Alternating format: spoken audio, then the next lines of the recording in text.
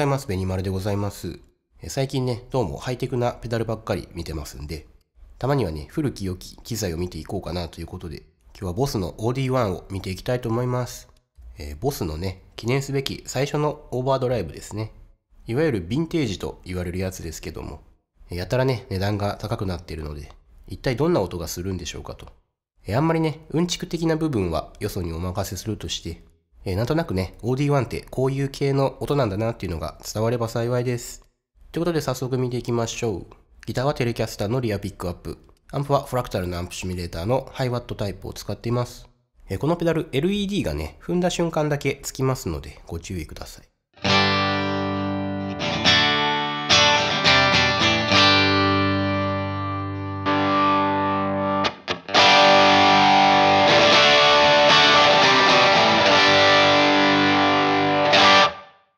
とっても明るい音色ですね。そしてローがね、バサッとカットされている感じがあります。いわゆるミドル寄りのサウンドですね。原因を回しながら見ていきましょう。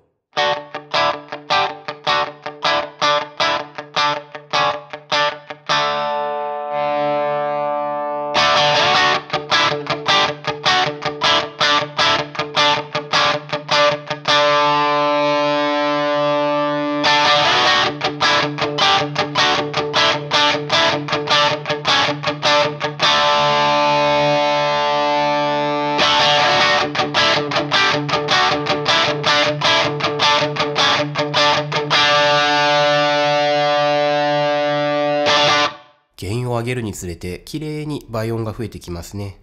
OD1 ってね、あんまり歪まなそうなイメージがあるかと思うんですけども、意外としっかり歪みますね。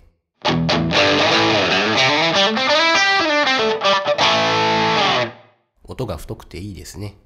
クラシックなね、オーバードライブというと、他にチューブスクリーマーが有名ですけども、ミドルにね、音がぐーっと寄るという点ではね、似てますけども、OD1 の方が幾分かオープンというか、抑え込まれる感じがないですね。えーレスポールにもね、持ち替えて見てみましょう。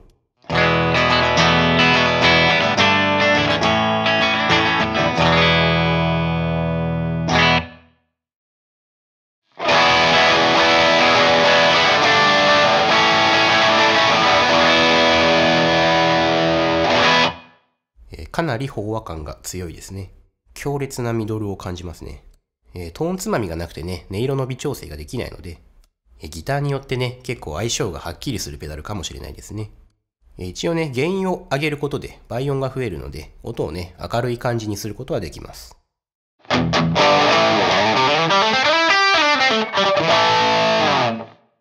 え僕なんかは基本的にゲインマックスの状態が好きですね。えとってもボスらしい音というか、ブルースドライバーなんかもね、つまみの位置によってはこういう音色になりますけども、ボスのね、サウンドメイクの原点がここにあるのかなといったことが感じられるのが面白いですね。ということで、とっても簡単にでしたが、OD1 の音色を紹介しました。え一言で言うとね、オープンなミドルといった感じの音色でしたけども、えこれを機にね、ぜひ皆さん OD1 を弾いてくださいというよりは、えボスのオーバードライブにたまには目を向けてみてはいかがでしょうかと。